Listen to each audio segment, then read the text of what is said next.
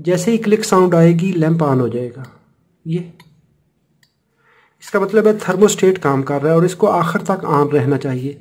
वापस लेके आएँगे, जितना आपका रूम टेम्परेचर है, उस हिसाब से इसकी जो प्लेट है, वो फिर से ओपन होगी और ये लैंप को ऑफ़ करवा देगी।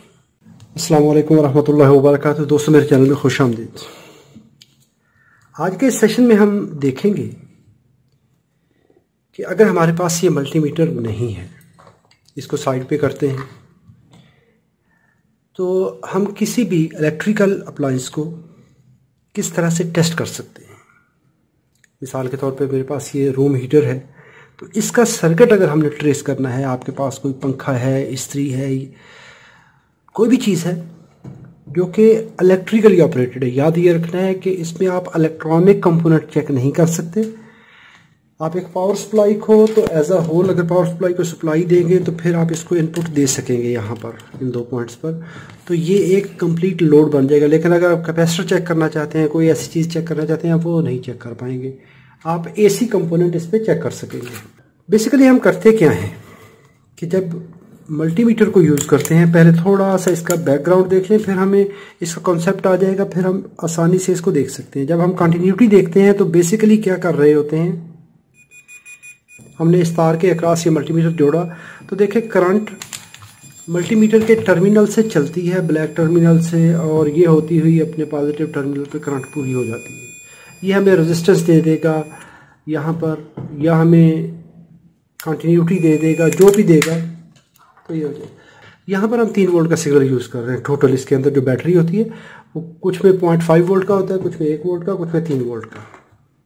एसी सर्किट को चेक करते हैं, मुख्तलिफ़ चीज़ों को चेक करते हैं तो उस वक्त क्या करते हैं हम? 220 वोल्ट का टेस्ट सिग्नल यूज़ करते हैं, जो लाइन वोल्टेज होती है।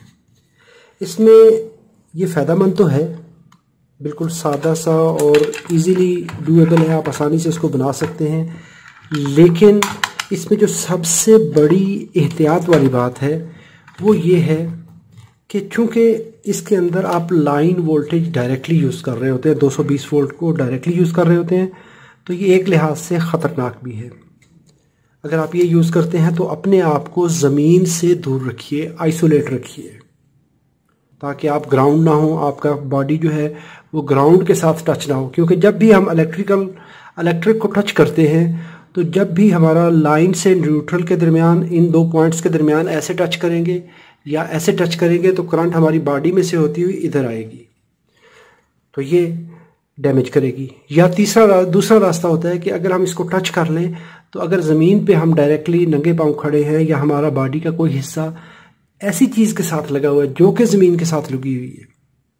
कोई लोहे की प्लेट है, लोहे की शीट है, तार है, जो कि ज़मीन के साथ टच है तो वहाँ से भी शॉक लगेगा। नंगे पाँव बैठे हैं शॉक लगेगा। तो आपको उस चीज़ से बचने के लिए जो सेफ्टी पैरामीटर है कि ज़मीन से अपने आप को आपने आइसोलेट रखना है, ज़मीन पे टच नहीं करना। चलिए जी, शुरू करते हैं। सीरीज़ टेस्ट लैम्प बनाना बहुत आसान है। ये पोर्टेबल वैसे तो सीरीज़ वैसे तो सीरीज़ टेस्ट बोर्ड होते हैं, लेकिन ये पोर्टेबल जो कि आप बिल्कुल सादा सा एक लैम्प होल्डर ले लें, एक दो वायर वाली केबल ले लें। ये केबल क्या करेंगे कि एक तार तो आप सीधी ले लें इसी तरह ही। और इसके साथ एक एलिगेटर लगा लें और दूसरी तार को काटें, काट के बल्ब के अंदर दाखिल कर दें इस तरह से। और दूसरे एंड से ये आउट कर लें। इसके आगे भी एलिगेटर लगा लें। तो इस तरीके से हम ये लैंप बना लेंगे अभी इसमें लैंप कौन सा आपने इस्तेमाल करना है? मैं यहाँ पर ये 60 वाट का लैंप यूज़ कर रहा हूँ। इस कॉन्फ़िगरेशन में मैं 60 वाट का लैंप यूज़ कर रहा हूँ। ये 60 वाट का है।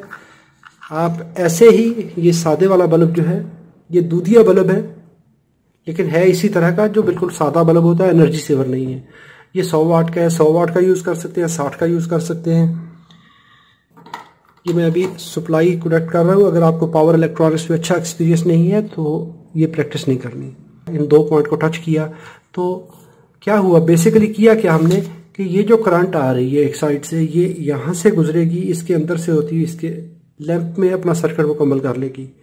अगर हम कोई तार टेस्ट करना चाहते हैं, कोई कंपोनेंट टेस्ट करना चाहते हैं, अभी ये तो मैं एक पीस ऑफ़ वायर जो है आपको ये टुकड़ा दिखा रहा हूँ। ये देखें हमने ये तार अगर ठीक होगी तो इसके दरमियान से करंट का रास्ता बनेगा। इसके दरमियान यानी करंट फ्लो हो रही है। अगर इसके अंदर डिस्कनेक्शन होगी, ये तार अंदर से कटी हुई होगी, टूटी हुई होगी तो ये इंडिकेशन नहीं आएगी। ये है इसका कॉन्सेप्ट तो ये तरीकाकार करते हुए हम अभी इसकी ट्रबल शूटिंग करते हैं। सादा सादा तरीके से ये देखें। सबसे पहले तो पावर केबल हमने देखनी है। जब भी आप इसको टेस्ट करेंगे तो पहले तो इसके सारे स्विच ऑफ़ कर दें। थर्मोस्टेट ऑफ़ कर दिया। इसको सिलेक्टर को ऑफ़ कर दिया।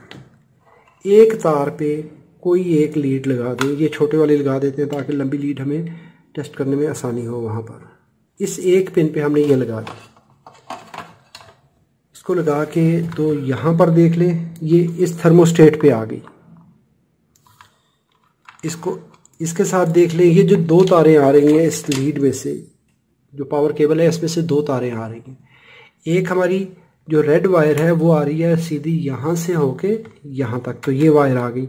और दूसरी वायर यहाँ पर आ रही है तो ये यहाँ पर नहीं बोल रही। इसका मतलब है कि ये तार ठीक है। अगर ये आपस में शार्ट हो जाती हैं बाज़ात तो फिर ये दोनों पे कंटिन्यूटी देगी। अभी मैं इसको चेंज करके दूसरी पिन पे लगाता हूँ। पहले हमें यहाँ पर कंटिन्यूटी मिली थी, अभी इस पे मिल रही है। तो दोनों तारें बोल रही हैं, दोनों तारों की कंटिन्यूटी आ रही है तो इसका मतलब है कि हमारी पावर केबल ठीक है। अभी हम क्या करेंगे कि थर्मोस्टेट चेक कर लेंगे। थर्मोस्टेट, जिस तरह बिल्कुल वो तरीकाकार कि हमने करंट को यहाँ से गुजारा था। अभी हम थर्मोस्टेट के दो पॉइंट्स में से गुजारेंगे। थर्मोस्टेट बेसिकली है क्या? ये एक मेटालिक प्लेट होती है जिसको हम अपनी मर्ज़ी से एडजस्ट करते हैं। ये एडजस्टेबल थर्मोस्टेट है। तो इसके एक एंड पे हम एक तार लगा देंगे और दूसरे एंड पे दूसरी तार लगा देंगे। जब भी आप इसको टेस्ट करेंगे तो किसी मेटालिक पार्ट को आपने टच नहीं करना। अभी देखें, ये लैंप ऑफ़ है। यहाँ पर मैंने दोनों तारें लगाई हुई हैं और इसको आराम से ऐसे घुमाएँ। जैसे ही क्लिक साउंड आएगी, लैंप ऑन हो जाएगा। ये। इसका मतलब है थर्मोस्टेट काम कर रहा है और इसको आखिर तक ऑन रहना चाहिए। वापस लेके आएँगे, जितना आपका रूम टेम्परेचर है, उस हिसाब से इसकी जो प्लेट है, वो फिर से ओपन होगी और ये लैंप को ऑफ़ करवा देगी। इस तरह से हमारा ये थर्मोस्टेट चेक हो गया। अभी हम क्या करेंगे? यहाँ से लेके नेक्स्ट हमारा सर्किट है, हम बाई पार्ट चेक कर रहे हैं। फिर हम इसको कंप्लीट तो चेक करेंगे।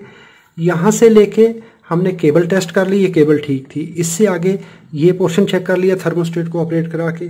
अभी एक तार हम यहाँ पे लगाएँगे और बाकी इन बारी बारी इन चीज़ों पे लगाते जाएँगे। जो थर्मोस्टेट की आउटपुट है, हम वहाँ पे इसको एक तार को कनेक्ट कर देते हैं। ये कनेक्ट कर दी। अभी हम क्या करेंगे को, कोई एक तार का टुकड़ा ले लेंगे कोई मेटालिक पीस ले लेंगे। तो ये मैंने एक रजिस्टर ले लिया लेकिन आपने इसको भी टच नहीं करना क्योंकि इसको आप फेस के साथ भी ऐसे लगा रहे हैं। तो अभी हम इसको पहली पोजीशन पे पंखे वाली पोजीशन पे कर देंगे। पहले तो इसको आप ऑफ़ रखें। ऑफ़ रख दें। तो जो सिलेक्टर से अभी यहाँ पर आपने कनेक्ट किया हुआ है इसको लाइन को। तो इसकी आउटपुट पे तीन तारे हैं। जब ऑफ़ पोजीशन पे है तो किसी पे कोई सिग्नल आउट नहीं होना चाहिए, कोई वोल्टेज आउट नहीं होने चाहिए। ये नीली तार आउट हो रही है ब्लू वायर तो इस पर भी नहीं होने चाहिए। और ये पीली वायर तार तार है तो इस पर भी नहीं होने चाहिए। अभी हम करते हैं पहली पोजीशन पे फ़ैन वाली पोजीशन पे। करंट यहाँ से चलेगी, इसमें से होती हुई इस टीवी पे आएगी। थर्मोस्टेट से लेके सिलेक्टर और यहाँ पर। ये कनेक्शन ठीक है। अभी इसको यहाँ पर चेक कर ले तो इस पे ये, इस पे देखेंगे तो ये सप्लाई आपको मिलेगी। कि ये यहाँ से आप इस रजिस्टर के थ्रू इस कॉमन वायर के कॉमन वायर पे सप्लाई जा रही है। यानी हमने टेस्ट किया इसको। अभी इस पर कंटिन्यूटी नहीं आ रही। अगर तो कंटिन्यूटी आएगी तो ये सप्लाई यहाँ से चलेगी और इस पीली तार, नीली तार पे हमें इंडिकेशन मिलेगी। अगर इसको चेक करेंगे तो इस पर भी इंडिकेशन मिलेगी। अभी इंडिकेशन नहीं आ रही। अभी इसका मतलब है कि आप ये जो रिटर्न लाइन है, इस रजिस्टर के थ्रू होते हुए इस पंखे को दे रहे हैं। अभी हम पहली पोजीशन पे जाएँगे, फिर मैं आपको इसको क्लियर करता हूँ। नंबर वन पे कर लें। नंबर वन पे करेंगे तो अभी एक तो पंखे को सप्लाई जानी चाहिए। ये और अभी ये नीली तार पे कंटिन्यूटी मिलेगी। अभी देखें, पंखा नहीं चला। जब हमने फ़ैन पे किया था, इसकी वजह क्या है? इसकी वजह अगर सर्किट को देख लें तो जब हमने फ़ैन पे रखा था और इस जगह पे हमने लगाया था, अभी फ़ैन को चलने के लिए एक साइड से तो आप सप्लाई दे रहे हैं यहाँ से और दूसरी साइड से इसको रिटर्न मिलना चाहिए। तो ये हमारी एक्चुअल रिटर्न लाइन है। तो रिटर्न जब हम यहाँ पे कनेक्ट करेंगे तो ये यहाँ से मोटर को मिल जाएगी, ये रजिस्टर इसकी सीरीज़ में आ जाएगी। लेकिन अभी जब आप लो हीट पे करेंगे तो लो हीट पे करने से इस पर आपको इंडिकेशन मिल रही है। प्लस फ़ैन वाले पॉइंट पे आपको इंडिकेशन मिलेगी इस पर लेकिन जो फुल हीट वाला है, ये वाला, इस पर देखेंगे तो अभी लो लो इंडिकेशन आ रही है। ये भी एक पहचान होती है। ये देखें। इस जगह पे आपको फुल फुल लाइट मिल रही है। यहाँ पे आपको फुल लाइट मिल रही है। लेकिन अगर यहाँ पे देखेंगे तो डिम लाइट मिल रही है। तो इसका मतलब है यहाँ पे रजिस्टर सीरीज़ में है, कुछ ना कुछ सीरीज़ में आ रहा है। यहाँ पर हमें फुल लाइट मिल रही है। तो लाइट के चेंज होने से हमें उसकी सर्किट की, कारकर्दगी का पता चलता है। अभी फुल हीट पे करते हैं। जब फुल हीट पे करेंगे तो अभी येलो वायर पे देख लें। यहाँ पे अभी इंडिकेशन फुल मिलेगी। पहले यहाँ पर डिम मिल रही थी। ये देखिए। यहाँ पे डिम है। अभी रजिस्टर सर्किट में आ रही है लेकिन अगर हम इसको नंबर टू पे कर देंगे फुल हीट पे कर देंगे तो एक तो हमारा फ़ैन चलना चाहिए फ़ैन को इंडिकेशन आएगी फ़ैन को वोल्टेज मिलेंगे लो हीट को और फुल हीट को। ये सारे वोल्टेज इन चीज़ों को मिल जाएँगे। इस तरीके से हम इन चीज़ों को वेरीफाई कर सकते हैं। हमने अभी थर्मोस्टेट देख लिया। हमने ये थर्मोस्टेट भी चेक कर लिया सिलेक्टर भी चेक कर लिया। इसके बाद हमारा ये पीटीसी स्विच है। हम इसको भी देख लेते हैं। तो पीटीसी स्विच हमारा इसके दोनों साइड पे आप ऐसे लगा देंगे। ये भी एक रिसेटेबल फ्यूज़ होता है कि जब टेम्परेचर बढ़ता है तो उस वक्त ये ओपन हो जाता है। तो ये देखिए, ये भी काम कर रहा है। बाज़ इसके सीरीज़ में एक थर्मल फ्यूज़ होता है। अगर थर्मल फ्यूज़ ओपन हो जाए, जब टेम्परेचर बढ़ता है तो वो पिघल के अलहदा हो जाता है अंदर से तो उस वक्त आप उस फ्यूज़ को रिप्लेस करेंगे। अभी हम चेक कर लेते हैं इसको हीटिंग एलिमेंट को। बाकी चीज़ें हमने बारी बारी चेक कर ली हैं। अभी हम लगाते हैं, ये एक कामन वायर है हमारी। ये जो आ रही है, यहाँ से रीसेटअप री ये जो एक आ रही है रीसेटेबल फ्यूज़ से आ रही है। पीटीसी स्विच से आ रही है। तो एक हम कॉमन पे लगा देंगे। और एक लगाएँगे एक तार पे। एक हम लगाएँगे रजिस्टर के एक एंड पे। अभी ख्याल ये करना है कि ये जो हीटर है, इसकी बाहर वाली बॉडी में भी करंट आता है। ये डायरेक्टली कनेक्टेड होती है तो इसको कभी भी टच नहीं करना। जब आप इसको आप टेस्ट कर रहे हो। ये बाहर वाले पॉइंट पे चेक कर लें। सप्लाई आ रही है और ये डिम लाइट है। और ये अंदर वाले पॉइंट पे लगा लें डिम लाइट है। तो हमें इस तरह से इसका जो सर्किट है, वो पता चल गया कि ये काम कर रहा है। इसमें चार सेक्शन है, एक, दो, तीन और चार। ये सेंटर पेन फुल हीट के लिए होती है, ये लो हीट के लिए होती है। ये बाहर वाली 1500 वाट और ये दरमियान वाली 500 वाट तो ये टोटल 2000 वाट बनता है। जब लो पे होता है तो 1500 वाट हीटर ऑन हो रहा होता है। अगर हम इसको as a whole circuit check करना है हमने अभी इसको ऑफ़ कर दें स्विच को। पूरे सेट को टेस्ट करना है तो कैसे टेस्ट करेंगे? ये देखें, यहाँ पर मैंने कनेक्ट कर दिया लैंप ऑफ़ है। सबसे पहले तो थर्मोस्टेट को ऑफ़ कर दें। इसको पूरे को ऑफ़ होना चाहिए। इसको ऑन करें। ऑफ़ होना चाहिए। क्योंकि इस वक्त कमरे का टेम्परेचर थोड़ा सा ज़्यादा है। जैसे ही आप इसको एडजस्ट करते जाएँगे, एक वक्त आएगा, ये। हमारा फ़ैन चल गया। तो ये फ़ैन टेम्परेचर के हिसाब से चलेगा। जब हमारा जो सेट हुआ हुआ टेम्परेचर है यहाँ पर, ये उस हिसाब से सर्किट को ओपन करेगा क्लोज करेगा। इसको ऑन कर दें। अभी इसको करेंगे हम फ़र्स्ट पोजीशन पे, पहली पोजीशन पे, और फिर हम लैंप देखेंगे। अभी देखें लैंप ऑन नहीं हो रहा, मज़े की बात ये वो इसलिए, ये साठ वाट का वाला है। इसकी पावर कंजप्शन है साठ वाट और फ़ैन हमारा टोटल जो है वो दस बारह वाट का, दस वाट का होता है। तो इसलिए ये उसको उतनी ज़रूरी करंट दे रहा है सीरीज़ में से गुजर के, लेकिन वो करंट इस लेंथ के हीटिंग एलिमेंट को हीटअप नहीं कर रही। जब वो करंट इससे बढ़ने की कोशिश करेगी या इसमें जो लाइट के लिए, जो इसको हीटअप करने के लिए उसको रिक्वायर्ड करंट है, पूरी हो जाएगी, ये ऑन हो जाएगा। अभी देखिए, इसको फ़र्स्ट पोजीशन पे करते हैं डिम हो गया। जैसे ही डिम हो गया, अभी देखें, दो चीज़ें हमारी पैरेलल में आ गई। एक तो ये फ़ैन है और एक 1500 वाट का हीटर है। ये बाहर वाले दोनों पॉइंट तो अभी क्या होगा कि वो 1500 वाट इसकी पहुँच से ज़्यादा है तो इसलिए ये ऑन हो गया है। इसको अभी मैं सेकंड पोजीशन पे करूँगा। तो ये देखिए, इसकी लाइट बढ़ गई। क्यों? जो लोड है हमारा, वो बढ़ गया। फ़ैन पे करने से ये बिल्कुल ऑफ़ होगा फ़ैन चलेगा। पहली पोजीशन पे आपको डिम लाइट मिलेगी। इस पे आपको फुल ब्राइट मिलेगा। फुल ब्राइट तो नहीं है, लेकिन ब्राइट के करीब है। यानी इसमें तकरीबन 100 ओम के करीब इसके रजिस्टर आप सीरीज़ में लगा रहे हैं।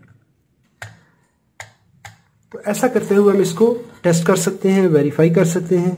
वीडियो अच्छी लगी है तो लाइक कीजिए। अगर आपका कोई सवाल हो तो कमेंट में लिखिए। मुझे आपकी राय का इंतज़ार रहेगा। अल्लाह रब्बुल इज़्ज़त आप सबको सलामत रखे, अपनी हिफाजत में रखे। अस्सलाम वालेकुम वरहमतुल्लाहि